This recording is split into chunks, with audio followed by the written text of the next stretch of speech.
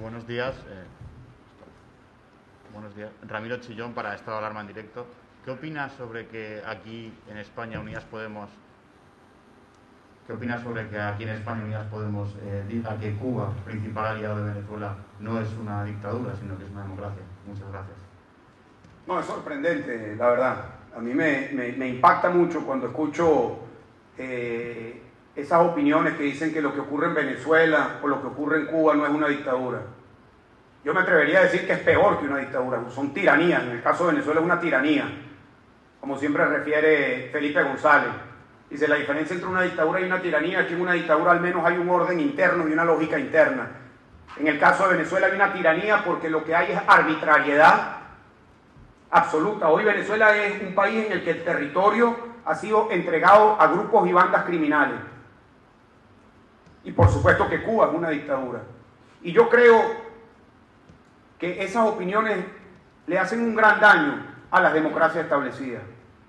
Le hacen un gran daño porque relativiza la democracia. Porque cuando se dice que Cuba no es una dictadura, entonces se está relativizando lo que debe ser una democracia. Y yo creo que esas opiniones afectan a las democracias en Europa y también en América Latina.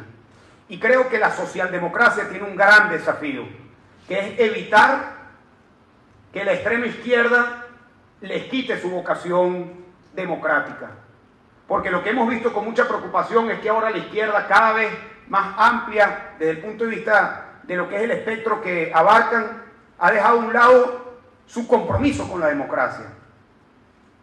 Y para nosotros, independientemente de si se está a la derecha, a la izquierda o en el centro, lo que debe unir a todos los demócratas es una definición clara de lo que es la democracia. Una definición de la democracia que parte del Estado de Derecho, de la autonomía de los poderes públicos, de la elección de las autoridades y, por supuesto, del respeto de los derechos de todos sus ciudadanos. No se puede tener ninguna de esas condiciones si no hay democracia. En Cuba y en Venezuela no hay ninguna de esas condiciones. Yo creo que se le hace, como lo dije anteriormente, un gran daño a las democracias cuando se relativiza lo que ocurre en Venezuela y lo que ocurre en Cuba, porque se normaliza el autoritarismo, se normaliza la arbitrariedad, se normaliza la violación de derechos humanos, se normaliza la vocación de, de perpetuarse en el poder. Y eso es algo sumamente negativo.